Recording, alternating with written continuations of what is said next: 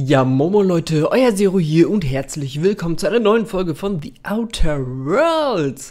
Gestern haben wir das erste Mal die Hauptstadt von Monarch verlassen. Oder heißt die Stadt auch Monarch? Ich glaube, die Stadt, nee, der Planet war Monarch, ne? Die Stadt hieß, ich weiß es nicht mehr. Wir haben sie verlassen auf jeden Fall und sind endlich rausgegangen. Und heute begeben wir uns Richtung Amber Heights und mal gucken, was wir heute auf dem Weg alles erleben. Viel Spaß!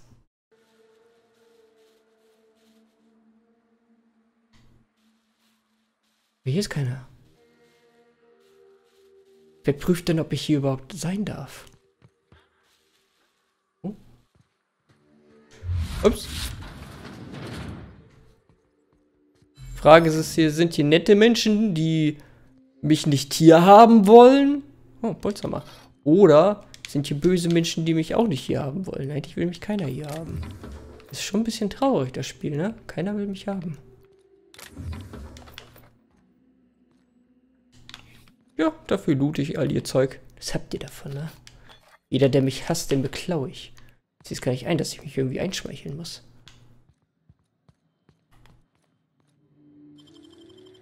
Ich verstehe die gegenwärtige Situation nicht. Hier ist nicht mal ein Gegner. Hephaestus. Vollschutzhelm. Ich meine, der ist schon ganz cool und so, ne? Aber leider kann ich ihn nicht gebrauchen. Mr. Energy.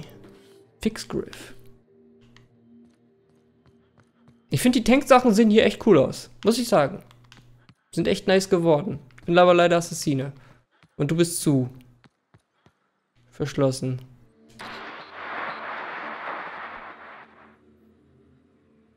Hallo? Okay.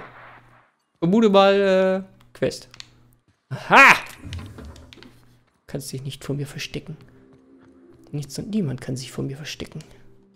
Außer vielleicht ich selber. Weil ich kann mich ja selber nicht sehen. Ich bin der beste Assassine. Es sei denn, ich laufe am Spiegel vorbei, dann bin ich natürlich enttarnt. Aber glücklicherweise bin ich so hässlich, dass ich mich an den Spiegel anschleiche. Sonst erschrecke ich mich.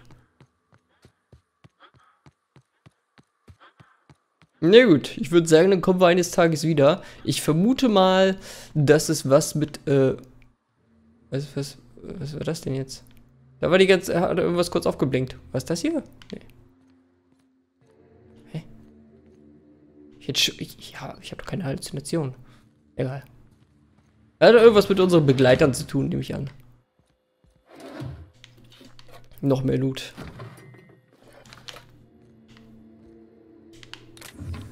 Bin wahrscheinlich die reichste Person hier im Universum, weil ich alles klaue. Jo, äh, Versailles, äh, Dinge zu verkaufen. Ich meine, ich muss es natürlich ausnutzen, dass hier ein Verkaufsautomat ist, ne? Ist ja ganz klar. Das würden wir auch verkaufen. Ich brauche Geld. Ich habe eine Menge Geld aus ausgegeben, um hierher zu kommen.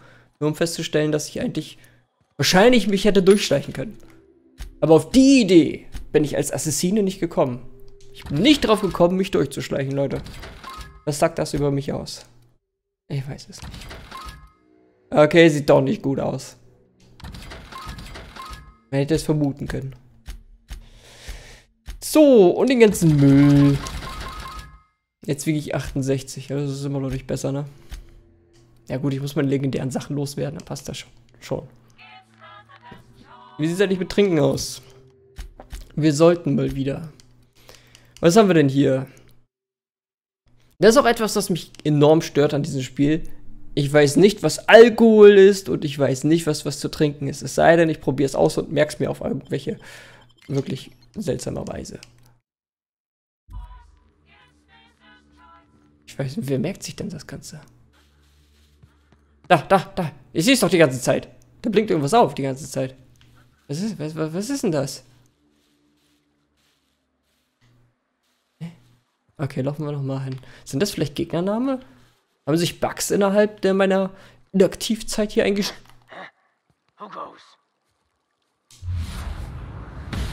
Du hast nichts gesehen.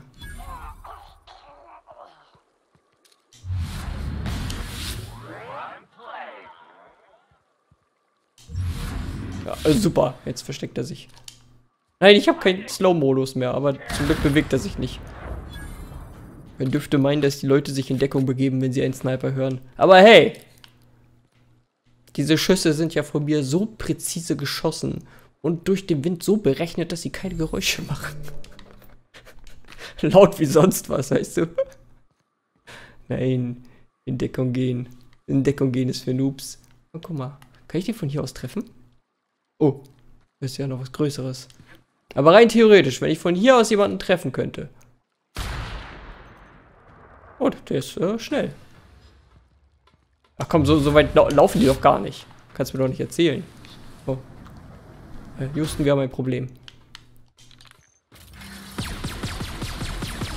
Äh. Oh Gott, er ist hier. Oder? Oh, da ist er.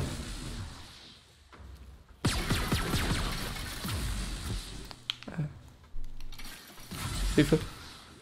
Kannst du bitte ins Wasser springen? Hör auf mich zu snipern. Oh mein Gott. Ich will nicht sterben. Ich kann nicht speichern.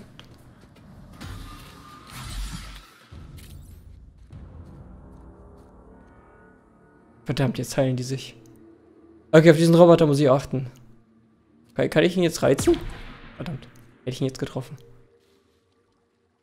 Okay, uno Sekunde. Kaboom!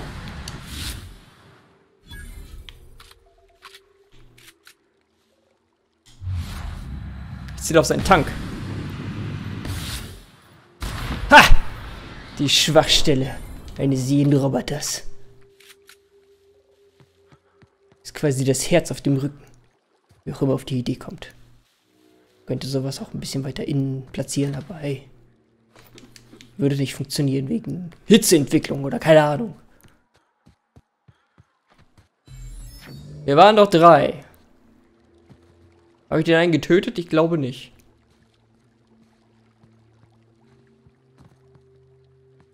Ich glaube ja nicht.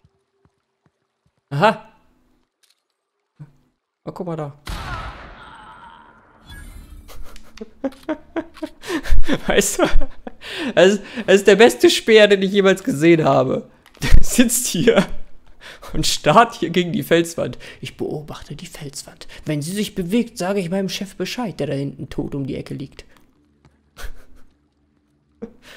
Warum blinken hier... Da, da! Was ist das?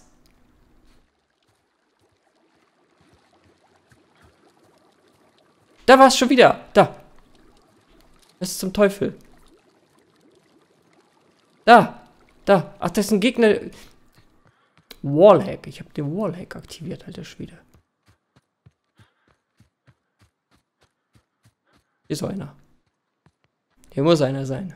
Er wurde ich durch die Wand gesehen. Der Speer hat nämlich in diese Richtung geguckt. Ja! Guck mal da.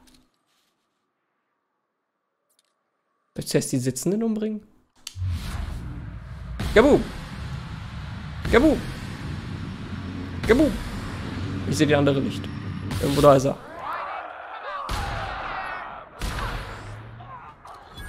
Oh Gott! Verzieh dich! Uh, ich mag Leute nicht, die auf mich zulaufen. Ich habe mich gerade erinnert, dass ich hier einen Perk habe, der meine Zeitlupe verlängert, wenn ich jemanden töte. Was natürlich als Assassine äh, richtig gut ist, wie man gerade gesehen hat.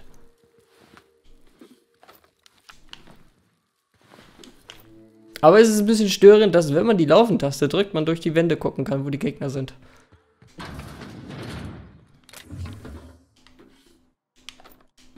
Aber wer bin ich, dass ich äh, vorschreibe, wie Entwickler ihre Spiele entwickeln? Bitte sei was Gutes drin. Uh, 344-Bit-Module, das äh, ist gut. Das freut mich doch. Oh, Offizier ist irgendwas. Belüfteter Mark 3 Helm. Ich habe einen Dolch bekommen. Und als Assassine interessiert mich, was dieser Dolch kann. Einhandschaden, aha. Spezialeffekt Bluten. Äh, ich, be ich, bezweifle, dass mir dieser Dolch auf irgendeine große Art und Weise helfen kann. Ich meine, ich kann ihn mal ausrüsten. Gucken, was der so Schönes macht. Das sieht aus wie Skyrim. Ich komme mir gerade vor, als würde ich Skyrim spielen. eins zu eins. Nur leider wird er durch wahrscheinlich nicht viel bringen, weil wir kein Damage damit machen würden. Ich meine, klar, bluten, aber wenn ich jemanden steche, ne, dann blutet er. Das ist ja schon mal schön und gut. Allerdings würde er wissen, wer ihn gestochen hat, weil es sich dann umdrehen würde aufgrund von Schmerzen. Äh, von daher würde mich dann wahrscheinlich umbringen. Und das äh, sehe ich irgendwie auch nicht ein. Amber Heights. Da wären wir bei unseren Familienangelegenheiten. Hat ja auch nur fast eine Folge gedauert, bis wir hierher gekommen sind. Habe ich Stimmen gehört? Okay, hier hinter ist schon mal nichts. Ah, guck mal, hier ist ein Lager. Frage ist, wie freundlich sind hier die Personen?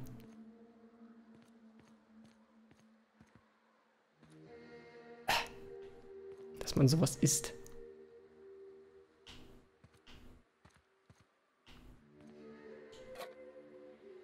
Ich meine, ich nehme alles. Ja, was für ein Müll das ist. Ah, guck mal, noch ein Helm. Na gut, lass uns mal reingehen. Oh. Ich habe so viel schwere Munition, ich werde die in meinem Leben nicht mehr verbrauchen können. Wiegt die eigentlich was? Muss ich Munition loswerden?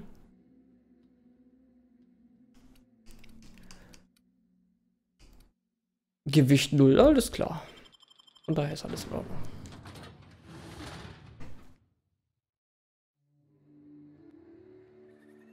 Hallo, freundliche Person. Ich lege meine Waffe für euch weg.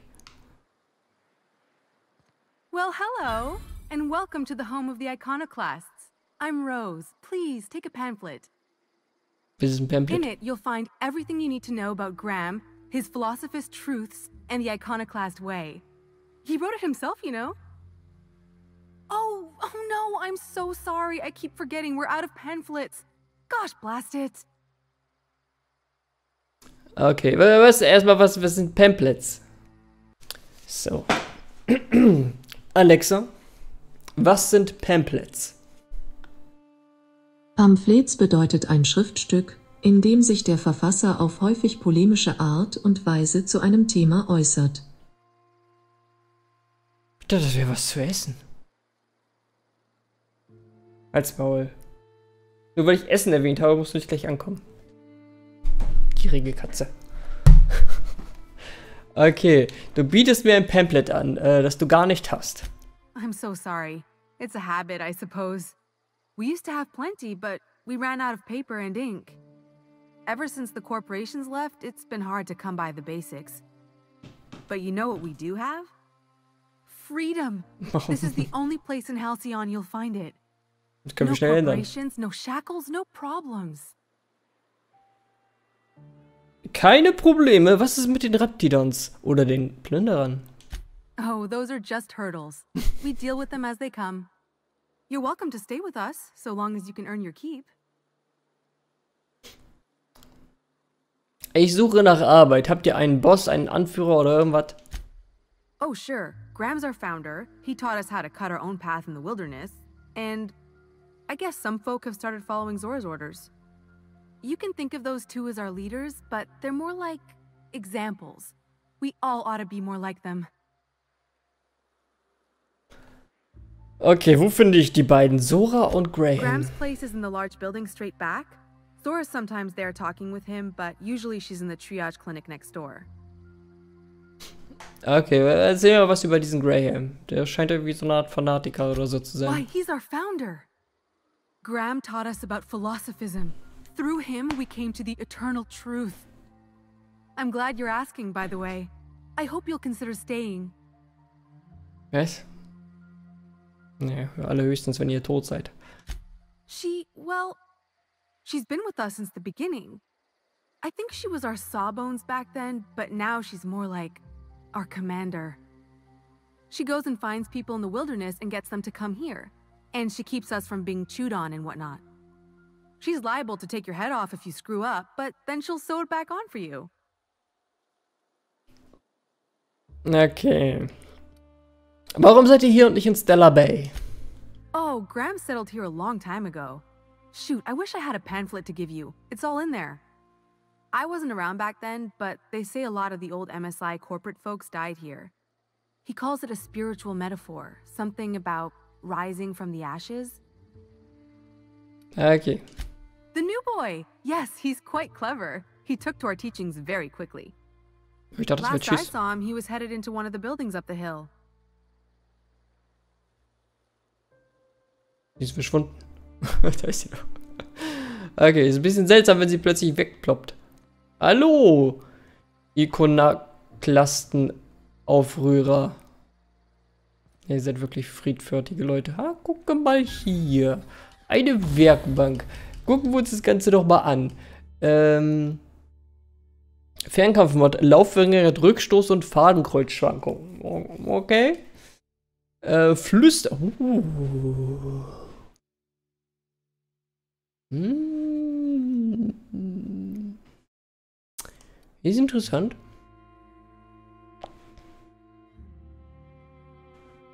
Hm, Das wäre eigentlich noch besser. Aber ich meine, so ein Flüsterrohr, wir, wir machen einfach mal so. Wir haben fünf Stück davon, ganz ehrlich. Machen wir da mal ran und dann, dann freuen wir uns einen Keks. Können wir noch mehr ranmachen? Wir können noch mehr ranmachen! So, Magazingröße, Schockschaden. Äh, wir verlieren aber normalen Schaden dadurch, ne? Schadenstyp Plasma. Ähm. Ich habe doch keine Schock. Ja, weißt du, wir machen das einfach mal. Scheiß drauf. Waffenreichweite. Auch Reichweite ist immer gut.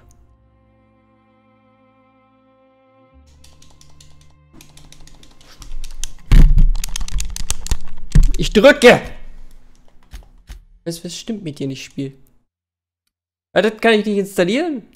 Aber jetzt wahrscheinlich schon drauf ist. Ja. Fernkampfsteuerung. Danke eines internen Gyroskops werden ungewollte Bewegungen gedämpft und genauere Schüsse ermöglicht. Ich brauche keine genaueren Schüsse. Ja, gut.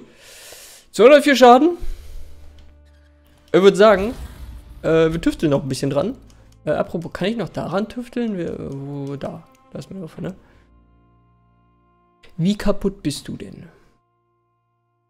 Schaden. Das würde mich 2000 Bits auf. Weißt du, das hier ist schon günstig. Schaden pro Sekunde. Wenn, wenn der Schaden pro Sekunde. Ich habe auf 300. Äh, 204 Schaden. Ich meine, wir brauchen eigentlich nur diesen einen Schaden, der richtig reinknallt, ne? So, das reicht. 263, das knallt ganz schön. Um 100 mehr, rein theoretisch. Äh, müssen wir gucken. Reparieren. Du bist ja noch recht fit. Mehr als fit. Na gut. So viel dazu. Apropos. Hier muss man nochmal tüfteln. Und zwar hier ran. Das sind die beiden Sachen, die wir tragen, ne? Ich will, ich will nicht tüfteln. Ich will modi modifizieren, bitte. Ich kann nur das hier modifizieren. So, was haben wir denn hier? Erhöht den Rüstungswert, erhöht den Rüstungswert äh, und Helm gegen Plasmaschaden, alles klar. Das bringt mir doch alles gar nichts. Ach, guck mal hier, geht noch weiter.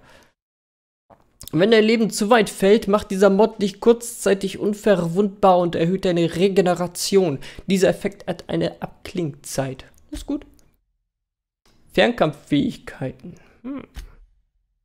Verringert die Geräusche beim Bewegen. Tragekapazität. Ja, ich meine, wir haben auf jeden Fall eine Auswahl. Was haben wir denn hier drauf? Ähm. Erhöht Fernkampfwaffen. Aber es hat nur Rüstung 17. Wir müssten da eigentlich ein bisschen dran tüfteln, dass wir da irgendwie mal ein bisschen äh, einen Bonus kriegen, glaube ich, ne? Ansonsten haben wir so einen Billo-Helm, der uns Langwaffen gibt. Das ist auch in Ordnung. Tech-Fähigkeiten, Schlossknacken, was haben wir noch? Nahkampfwaffen. Inspiration, ne? Keine Ahnung, was das ist. Aber gut, ich würde sagen, wir tüfteln erstmal an unserer Rüstung. Wir sind nämlich. Oh. Das war teuer.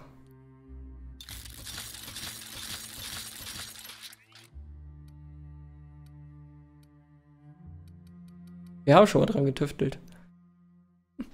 Gut zu wissen. So, reparieren müssen wir, glaube ich, die Rüstung noch nicht, aber die kann man mal reparieren. So, und dann zerlegen wir mal was, wenn wir schon mal hier sind. Das war den ganzen Kram, den wir nicht brauchen. So. Läuft doch. Na gut. Nein, nicht die Waffe rausholen. Die Waffe raus. Die Waffe rausholen. So. Keine Geräusche. Das gefällt mir schon mal. Was? What do you think you're doing? Hab meine Waffe getestet. Äh, gar nichts? I still ain't sure about this, but go on. Ich habe auch gar nichts gemacht. Das war nicht mal eine Lüge. WTF? Was? Gesenkt? Get a whiff. Ah, ich hab gegen eine Wand geschossen, Junge. Achso, ich hab geklaut. Ah. Das ist schon so normal für mich, Sachen zu klauen. Dass ich mir denke, dass, dass das legal ist für mich. Ey, ich hab's wirklich nicht realisiert, dass ich was geklaut habe. Hallo. Wie heißt du? Revolutionär. Ich dachte, du wärst ein Revolverheld.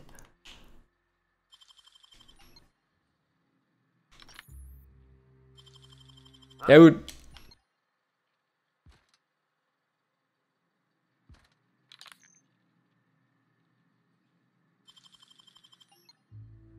Seht ihr das? Die Anzeige. Die Anzeige links. Der merkt das, wie ich das Ding knacke. Aber der guckt doch gar nicht hin.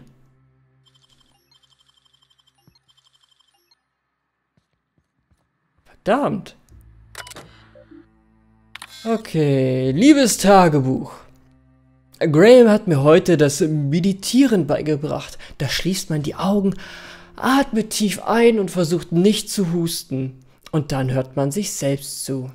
Weißt du, das ist so, als würdest du dich vor einer Mantikönigin verstecken und du versuchst ganz still zu sein, also konzentrierst du dich auf deine Atmung und hörst ganz laut deinen Herzschlag. Und dann fragst du dich, wie die Mantikönigin das nicht hören kann. Und dann musst du ganz plötzlich niesen und erinnerst dich an die letzte Lieferung, die du auf Zoras Tisch gepackt hast. Und als du dann genießt hast, ist sie runtergefallen und ein paar Sachen sind kaputt gegangen. Meditation ist so ähnlich, nur dass man dabei absichtlich an solche Sachen denken soll. Graham nennt das, ich weiß nicht mehr, wie er das nannte, Reminiszenz. Er sagt, da würde unsere eigene ewige Wahrheit an die Oberfläche kommen und die Sachen, an die du dich erinnerst, sind die, auf die du dich konzentrieren sollst, um ein besserer Mensch zu werden. Als wir zusammen meditiert haben, habe ich mich hauptsächlich daran erinnert, dass es weh tut, auf Steinen zu sitzen. Vielleicht ist das ein Zeichen, dass ich mehr Muskeln am Hintern brauche. Mehr Fett, meine Liebe, mehr Fett. Muskeln tun weh. Wenn du dich auf Muskeln stützt, dann tun sie weh. Aber cool. Liebes Tagebuch. Zora oder Sora ist echt clever, aber manchmal kann sie eine echte Zicke sein. Ich sollte für sie Infos aus Cascadia holen, aber ich konnte keinen Weg um die Plünderer drumherum finden. Also habe ich aufgegeben und bin nach Fellbrook, um stattdessen Vorräte zu holen. Und als ich da war, ist Chastity auf ein paar Runden Whist vorbeigekommen. Sie ist so cool, sie spielt da immer. Wenn ich Bits verliere, regt mich das, äh, äh regt mich das sowas von auf. Ich habe ja nicht viel, deshalb tut es mir so weh, wenn ich das, wenn ich was verliere. Aber Chastity kann ein paar Tausender in einem einzigen Spiel verschleudern und ihr macht das gar nichts aus. Naja, also manchmal trinkt sie etwas und haut auf den Tisch und stirbt raus, aber trotzdem, meistens lässt sie es kalt und das bewundere ich. Jedenfalls, als ich zurückkam, hat Sora mich angebrüllt, weil ich ein bisschen zu spät war. Bla bla bla, Medizin nicht schnell genug da und so. Ach. Graham hat mich bloß gebeten, beim nächsten Mal nicht die Zeit zu vergessen, und das habe ich ihm versprochen. So bringt man Leuten was bei. Man muss sie nicht anbrüllen und dafür sorgen, dass sie sich schlecht fühlen. So, so, so. Hey. Schade. Heute hat mir Sora die Erlaubnis gegeben, Munition von Bronson zu kaufen. Eigentlich möchte ich das gar nicht, aber sie sagte, ich sollte welche kaufen, nur für den Fall. Aber Knarren sind zu fürchterlich laut. Ich würde lieber wegrennen, als damit zu schießen. Trotzdem bin ich irgendwie stolz. Sora hat gesagt, das sei so eine Art Beförderung für das, was ich in der Wildnis gefunden habe. Ich glaube, es ist ein Code für eine Tür, aber ich weiß nicht, warum der so wichtig ist. Ich komme nicht mal in die Nähe von dem Ding, ohne dass mich was angreift. Ich habe sie gefragt, was eine Beförderung ist, und sie lächelte irgendwie so traurig und sagte, ich sollte mir darüber nicht den Kopf zerbrechen. so, was hast du denn gefunden für einen Code? Dies wird mein letzter Eintrag sein. Tut mir leid, Tagebuch. Du warst so ein guter Zuhörer, aber unsere gemeinsame Zeit neigt sich dem Ende zu. Das Terminal hat gestern schreckliche Piepsgeräusche gemacht und als ich weg war, hat es jemand zertrümmert. Und jetzt kann ich keine weiteren Einträge mehr speichern. Milton kann es nicht reparieren und außerdem sagt er, ich soll mich nicht mehr in sein Haus schleichen, wenn er nicht da ist. Das ist nicht mal ihr Terminal. Wer auch immer das arme Terminal kaputt gemacht hat, wenn du das liest, Schnüffel Schwefel. Das war niemals ihr Terminal. Bekritzeltes Magazin. In dieser Ausgabe von Jägerin der Albtrünnigen durchstreift die Heldin den gefährlichen Höllenschlund namens Monarch. Teile des Textes sind durchgestrichen und ersetzt. Zudem hatten in der Originalfassung vermutlich weniger schurkische Abtrünnige aufgemalte Bärte und Hüte. Hat jemand drin rumgemalt. Ja, ich. Ich kann es einfach nicht lassen. Wisst ihr, wenn da etwas rumliegt, dann will es aufgehoben werden und mitgenommen. Es ist doch einsam. Ich meine, die benutzen das doch nicht. Es liegt da rum und die benutzen das nicht. Irgendwer muss es doch benutzen. Und ich würde es ja benutzen, aber. Nein, ich bin natürlich der Böse, wenn ich irgendwas anfasse. Hm, naja. So viel zu dieser Folge. Ich wurde zweimal ertappt. Ich, die hassen mich jetzt schon. Die hassen, die hassen mich einfach jetzt schon. Aber was soll's. Wir nehmen es einfach mal hin, dass sie mich hassen. Und äh, ja, dann sehen wir uns in, in der nächsten Folge wieder. Haut rein. Ciao.